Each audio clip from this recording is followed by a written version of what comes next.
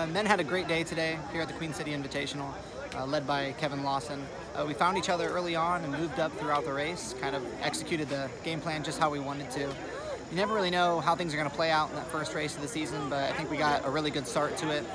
Just working together throughout the whole race, finding those little guys, little packs of guys, and moving up throughout, uh, just really showed kind of the maturity that this young group has already, and that'll bode really well for the rest of the season. Uh, like I said, Kevin Lawson was our number one guy today. Uh, four freshmen in our top seven, which was surprising, but that's a very pleasant surprise. Um, this 5K utilizes our speed a little bit more, and as we move on to 8K, 5 mile, uh, they'll have to adjust to that longer distance a little bit, but our returning guys are looking to step up and kind of fill those gaps. But great day all around, top to bottom. Anytime you get the win in a college invitational, that's a good day. Uh, we can build on this into the future, though, and get ready for our next invitational.